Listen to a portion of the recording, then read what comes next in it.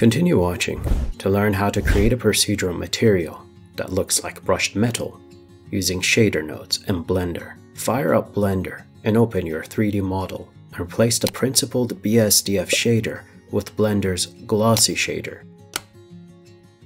Now, add a texture coordinate node, a vector math node, a noise texture node, a color ramp node, and finally, a mix RGB node. The vector math node is the basis of the circular brushed metal.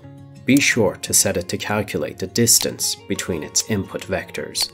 This subset of nodes generates the brush lines and sets the color of the brushed metal. Now, to add some roughness to the brushed metal, add another Mix RGB node. The output of this Mix RGB node will connect to the roughness of Blender's glossy shader. Next, to add a normal map to our procedural material, add a third Mix RGB node, along with a bump node. This subset of nodes will connect to the normal of Blender's glossy shader.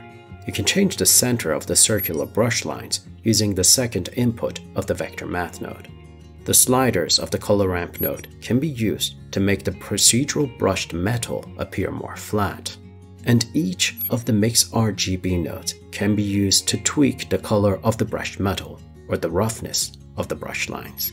The bump node directly determines the intensity of the brush lines.